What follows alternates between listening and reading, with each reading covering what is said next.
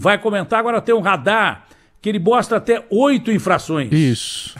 Podia botar um radar desse dentro da prefeitura para ver se estão Então, cometendo infrações dentro da prefeitura. Pelo menos oito infrações, podia botar lá dentro.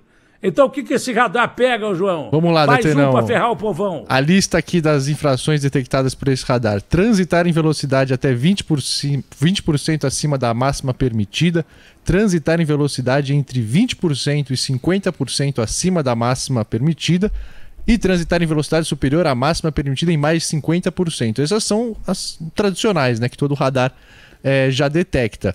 Agora ele também eh, pega você se você parar sobre a faixa de pedestres na mudança de sinal, se você transitar em local não permitido pela regulamentação, se você executar uma operação de conversão em local proibido pela sinalização, o famoso pelezinho, né, ou gato, e se você avançar em sinal vermelho eh, no, no- do- no semáforo, né? Ah, e a última, Tudo isso com um radar Não. só. e se você deixar de conservar o veículo na faixa a ele destinada pela sinalização. Ah, tá, usa até um português bonito Bom, aqui. é, Como? Não tá O tudo carro, asfaltado, exemplo. Datena? Não tem faixa mais em É, São mas, Paulo. é, o cara, os caras acabaram com as faixas, perderam a grande oportunidade de, de continuar com a faixa azul, porque agora se mexer no lugar que tem a faixa azul, o cara tem que passar asfalto por cima. Não tem mais faixa para você se orientar é, em São Paulo. Você não tem faixa. Faixa Como é que fantasma. vai meter, é, como é que vai ter é, multa para o cara fora da faixa se a faixa é fantasma?